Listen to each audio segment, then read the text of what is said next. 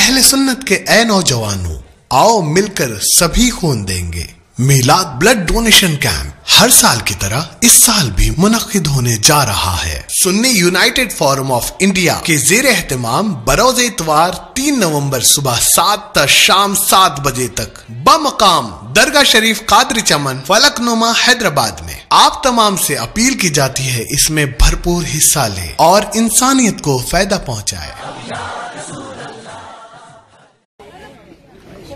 थोड़ा। थोड़ा थोड़ा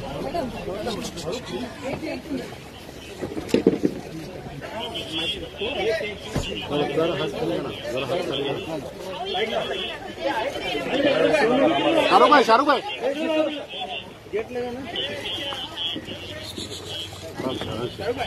शाहरुख भाई सर।